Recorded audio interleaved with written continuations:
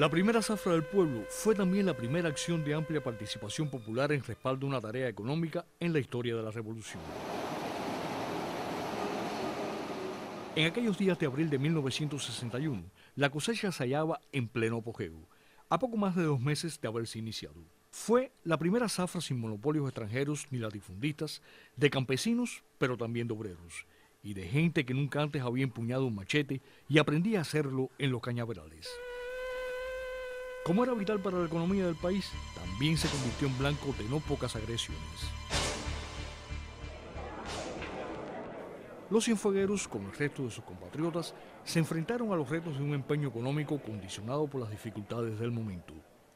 La carencia de recursos para el traslado a los campos y el avituallamiento de los colectivos, y la imposibilidad de contar con los macheteros suficientes para una movilización tan vasta debido a los requerimientos de la defensa y a que miles de hombres permanecían en las montañas del Escambray enfrentados a las bandas de alzados. En consecuencia, se hacía creciente la demanda de macheteros voluntarios, sobre todo durante los fines de semana. Algunas obras públicas, de las muchas que edificaba la revolución por aquellos días, quedaron momentáneamente interrumpidas para garantizar la participación de los trabajadores en los cortes, una alternativa que también se asumió en otros ámbitos laborales y docentes. La emulación como incentivo para incrementar la producción y la productividad fue otra de las estrategias asumidas.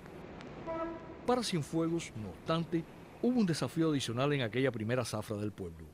Dar una respuesta coordinada y efectiva a la necesidad de garantizar el proceso de embarque de azúcar por sus instalaciones portuarias.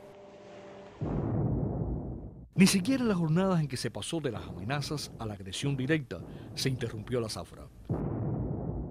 El llamado fue entonces a mantener la producción a todo ritmo y a redoblar la vigilancia ante eventuales sabotajes en los campos o en las fábricas. Fue aquella una campaña colmada de tensiones, no exenta de esas pinceladas de humor con la que los cubanos solemos matizar las situaciones más difíciles.